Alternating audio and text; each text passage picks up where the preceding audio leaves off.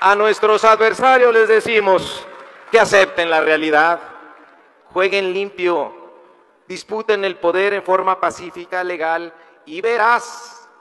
Sus campañas de intoxicación y desinformación los han llevado al desastre.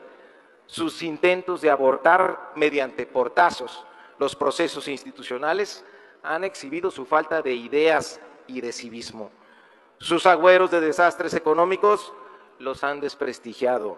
Aunque no les guste, la economía moral y el humanismo representan hoy en día la única alternativa real que hay al modelo neoliberal en el mundo. Por eso renuncien a sus afanes que lindan en el golpismo. Es en nuestros compañeros y compañeras siempre van a encontrar adversarios de altura que saben conducirse en el debate de las ideas. Sean oposiciones dignas, dedíquense a conocer el país y aprender de su gente. Construyan programas y propuestas y sométanlas a la opinión de la ciudadanía. México necesita una oposición seria, articulada e inteligente.